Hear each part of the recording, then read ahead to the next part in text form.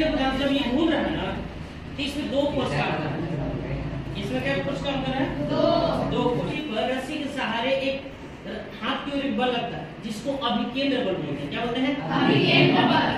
जब ये घूमेगा इस तरह से तो इसमें जो है इसमें जो द्रव भरा है ना उस पर एक फोर्स और काम कर रहा है। सेंटर के बाहर की ओर। भार के कारण ऐसे। सेंटर के बाहर। की ओर। और अंदर की ओर जितना बल काम कर रहा है उतना ही बल किधर का- काम कर रहा है। बाहर की ओर नहीं। और इसीलिए बाल्टी उल्टा भी पी रहा था पानी नहीं। नहीं गिर रहा।